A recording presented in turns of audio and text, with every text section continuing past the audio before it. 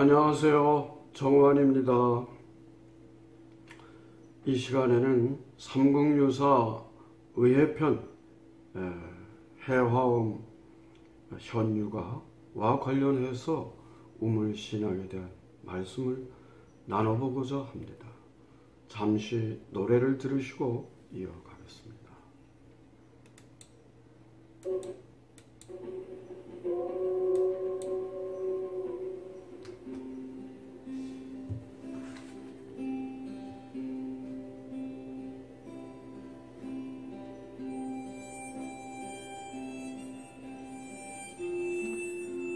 우리의 역사를 찾아서 삼국유사를 찾아서 우물 신앙을 찾아서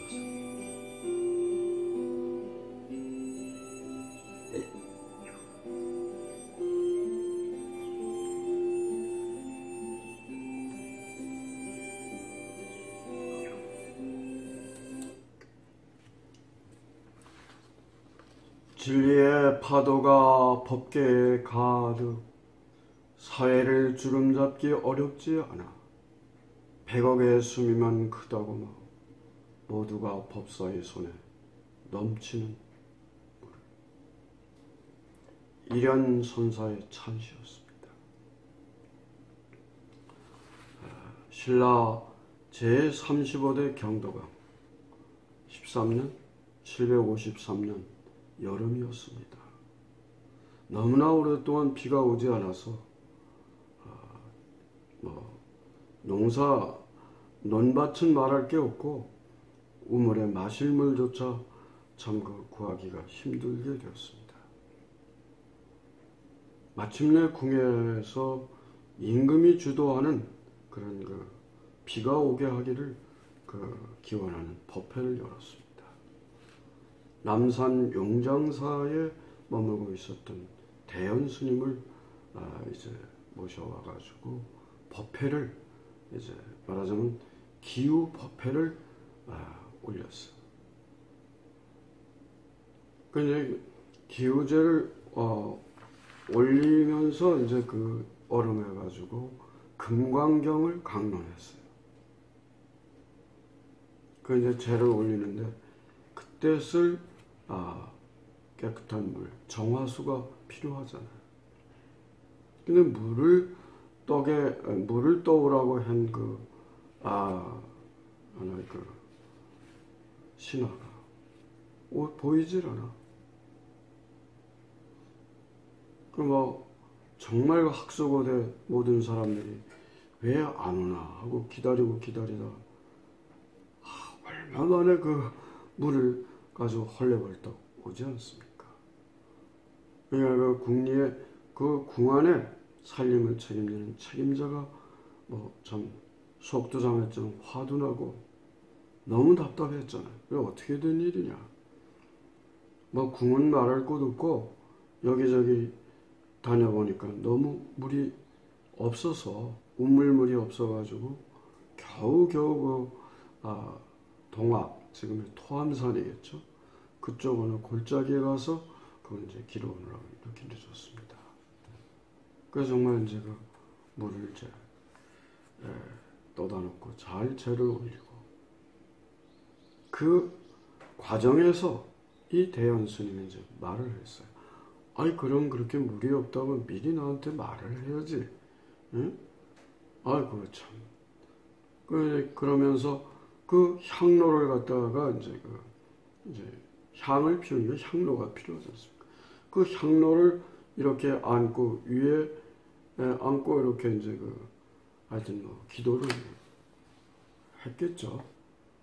그 법력에 의해서 그만 그 아, 대궐 안에 있는 그 우물이며 그 주위에 있는 많은 우물에 그냥 물이 쳐져 흘러넘쳤어. 사람들이 너무 놀랐어. 그래가지고 그 뒤로는 그 궁 안에 있는 그 우물을 금광경을 이제 강론해서 비를 오게 했다. 이런 그 기념 삼아석을 금광정이라는 그 물 이름을 붙였다고 합니다. 원래 이 우물이라고 하는 말은 그 우물 정자잖아요. 그게 우아래 미음, 음물이거든. 음에 고여 있는 물이라는 뜻입니다. 그러니까 밑에서 샘이 솟아서 아, 물이 이제 이렇게 담겨 있을 수도 있고 어디 골짜기에서 바위 틈에서 이렇게 내려와가지고 흘러내려온 물이 골려 고일 수도 있는 것이고 하여튼 마실 수 있는 아주 그 좋은 물을 보통 우물물이라고 이렇게 하지 않습니까? 저희 고향에도 제가 아, 그 메밀꽃 필 무렵 쪽에 저희 고향이 있는데 거기에 그 갑천약수라고 그래가지고 지금도 그 아, 물이 늘 그 사시사철 잘 나온다고 합니다. 얼마 전에 저 가본 일도 있어요. 그러니까 이 우음에 물이 샘물이 좋은 물이 고여 있는 그 움, 이게 합쳐져서 음물 또 동음생략이 되어서 우물이 된 거 아닙니까? 그 이러한 모든 그 물을 또는 산을 또는 하늘을 다스리는 그런 신이 있다고 예전에 믿었다 그랬잖아요. 그걸 범신론, 애니미즘이라고 그랬는데 이 마찬가지죠. 이런 일종의 이런 우물을 다스리는 신이 있었다. 그런 그런 믿음, 그런 종교, 그게 바로 우물정자, 삼천자, 정천신앙입니다. 한번 그 그럼 몇 가지 대표적인 것을 한번 예를 들어볼까요? 지난번에 보여드렸던 것 같은데 이거 기억하세요? 이게 바로 아, 삼국유사 신라시조 혁거세 왕 부분에 나와 있는 그 혁거세가 이 아령 나정 나정에서 아, 그 옆에서 아래서 태어났다라고 하는 그 이제 남산 쪽에 있지 않습니까? 또 이 혁거세 왕의 왕비였던 사람이 누굽니까? 아령 부인이잖아요.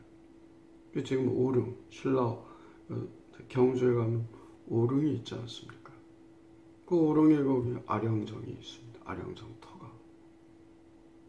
거기도 이제 그, 그러니까 아, 혁거세 왕도 그의 왕비도 다 우물에서 이렇게 관련해서 특히 용과 관련해서 말과 관련해서 그런 이제 아, 신화가 있지 않습니까? 또 여러분들이 잘 알고 있는 이제 어떤 나라의 운명을 점치는 그런 장소로도 쓰였다. 이건 말하자면 온조왕이 백제를 이제 세운 시조 아닙니까? 왕 25년, 기원 후 7년인데 좀 하남 유래성 시절이었겠죠. 꼭궁 안에 우물이 있었는데 때가 정이월 2월 달이니까 상당히 추웠던 때 아닙니까? 옛날에 많이 추웠거든요. 근데 그 우물에서 물이 펑펑 쏟아지더래. 넘치더라고요.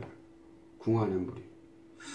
그래서 그걸 가지고 점을 쳐서 결국은 마한과 진앙을 갖다가 이렇게 통합하는 그런 구상과 그런 전략을 어, 짜게 됐다.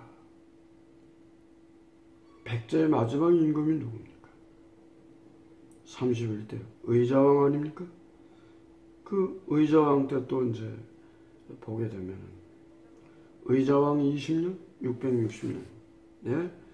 그 지금은 부여지만 그때는 사비성이라고 그랬잖아요. 한때는 소불이라고 그래.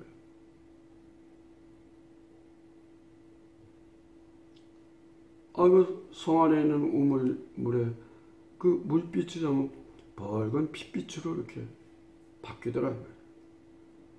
지금은 낙화암이 있는 그쪽으로 흐르는 그 백마가 그때는 이제 사비아라고 그랬는데 그물도 그 핏물처럼 그렇게 물이 벌겋게 보이고 작은 물고기들이 나와서 다 죽고 결국 망했어요.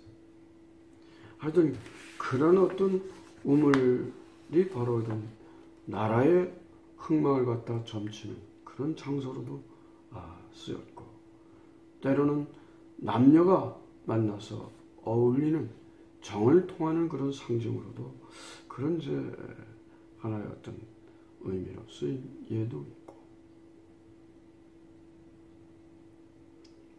여러분들 그 나라를 지켜주는 용 그걸 뭐라고 그러죠? 호국용 그 다음에 불법을 지켜주는 용 호법용이라고 그러셨습니까? 이런 어떤 방어 방위의 기능을 갖는 그런 용들과 관련한 그런 장소가 또 우물이었습니다.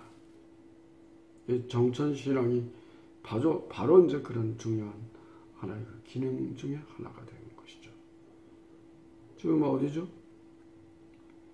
그, 그 경주에 가면은 그 왜 황룡사터 있지 않습니까? 그 바로 옆에 분황사가 있는데. 이때 그 에, 말하자면 그, 그 원성왕 11년 795년. 그때 그 분황산에 이제 그 우물이 있었는데 어, 나라를 지켜주는 그 용이 거기에 살고 있었다는 거예요. 또 다른 동지와 청지라고 하는 곳에도 용들이 있어. 그걸 중국의 당나라 사신들이 와가지고 도수를 부려가지고 특히 하서인들이 하서 사람들이 도술에 능했던 것 같습니다.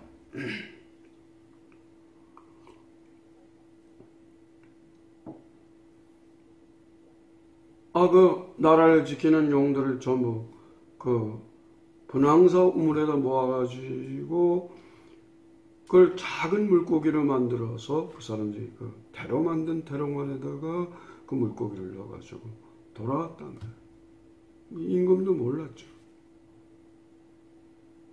근데 그 용의 아내들이 동지, 청지, 용의 아내들이 원성왕한테 찾아와서 그런 사유를 얘기해서 원성왕이 결국 지금 경산시 하양읍 그 하양관이라고 그 상명서에 실려 있습니다. 거기에 와서 이실직고를 받고 그 물고기를 되돌려 찾아가지고 동지와 청지 또는 분황서에 다시 넣어줬다. 나라의 태평을 되찾았다 이거죠.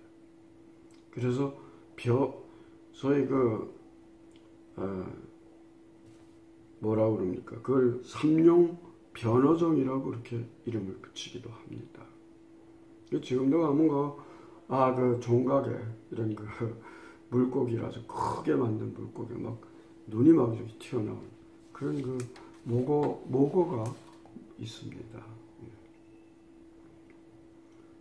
그 다음 여러분들이 잘 아는 게 이제 그 약수 알잖아요. 이 전국 곳곳에 약수가 있어요. 예, 이 약을 약수가 말하자면 좋은 샘물 아닙니까? 응?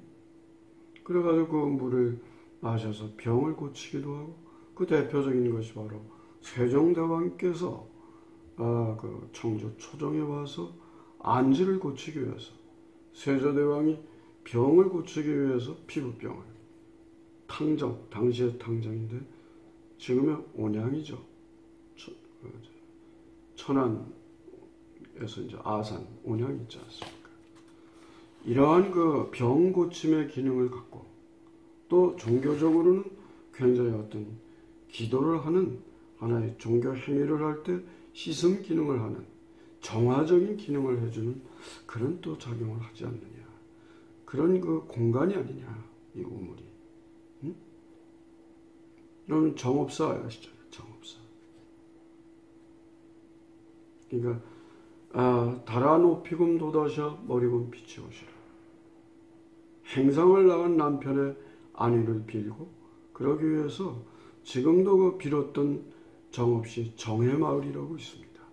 저희들이 몇 년 전에 답사를 갔다 온 일이 있는데 그럼 또 부나무라고 하는 또 이런 금설 좋은 열리지 같은 그런 그 나무가 서 있더라고요.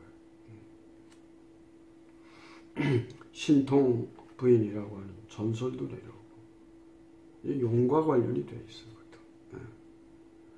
또 요즘 뭐 교회라든가 또는 뭐 이런 여러 가지 그 무속 신앙에서도 보면은 그 구슬할 때 또는 그 세례를 줄 때 전부가 물을 가지고 합니다.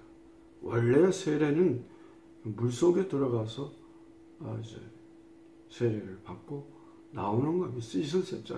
뱉타이즈 하는 것이죠. 예. 여하튼 이러한 어떤 여러 가지 그 아, 우물신앙, 소위 정천신앙과 관련해서 이러한 아, 참 아, 자연을 갖다가 좀 더 아주 그 삼가서 이렇게 가까이 하고 인간을 사랑하고 하늘을 사랑하는 하늘신을 경외하는 그런 우리의 아름다운 전통을 살려가야 되지 않겠습니까? 여러분 건강하고 행복하세요.